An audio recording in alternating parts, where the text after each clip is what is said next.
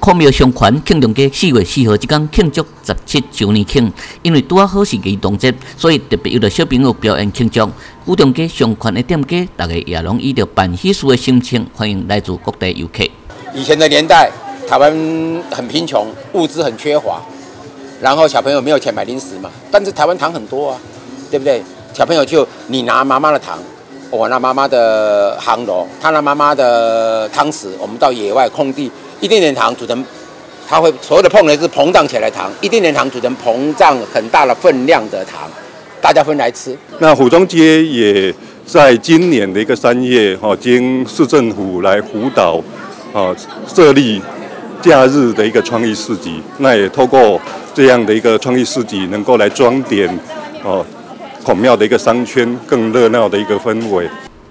孔庙上环十七岁这个好日子，咱也来看到台南市长黄伟哲到场祝福。黄市长讲，伊真欢喜看到上环的店家拢会当团结，为府中街创造更加好的环境，带来更加多的商机。今天呃很开心，二零一九年府中街庆哦，事实上在呃府中街我们封街盛大举办了，但事实上我们知道这是一个老街区，但是一个等于说新的商圈，那我们很开心呃这个我们的商圈各位商。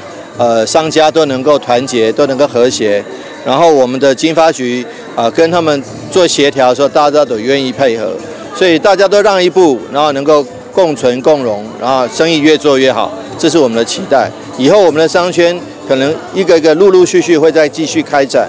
那台南市也是目前商圈算是蛮多的，那我们也都很愿意啊把这个商圈做起来，因为大家毕竟毕竟啊以和为贵，和气生财。我们觉得其实这部分我们都很希望说在做。那今天的商圈也是正式公告，府中街是一个无烟街区哦，全全条整条路哈都禁止吸烟。那一方面有环保的意义，一方面有健康的意义，一方面又有欢乐的意义。很开心今天来到这个商圈的庆祝活动。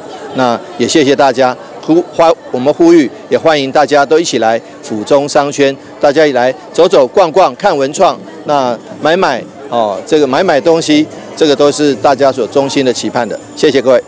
生意兴隆，人丁兴旺，浦东街一直商圈永远成功。